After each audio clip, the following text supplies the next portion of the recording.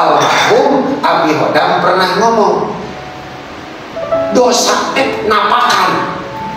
Ayat tapakan dosa teh. Kade. Di antara dampak dosa teh satu seset rezeki. Usaha rajin bisnisnya banyak. Kantornya di dia di itu susah banget. Gelarnya banyak.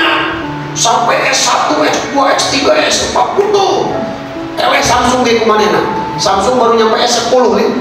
Ini sudah S27 gelarnya banyak ininya banyak rezekinya baik terlalu banyak dosa. Dua susah dikabul doa. Siapa contohnya? Udah jauh-jauh kurang doangin kunaon dina doa teh sewae tandanya dampak dosa masih terlalu kental di tubuh kita. Nomor katilu nomor katilu berat diajakan soleh. Hese diajakan ibadah. Padahal pengen jadi orang soleh udah dari dulu. Ya udah dari dulu. Wih masya Allah. Kalau kita nggak pernah berbuat dosa mungkin dari dulu kita sudah jadi al al mama gitu mama abu ya ijal tuh.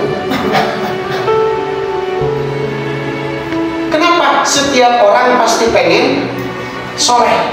Setiap orang pasti pengen berakhlak baik. Tapi kunaon berat pakai?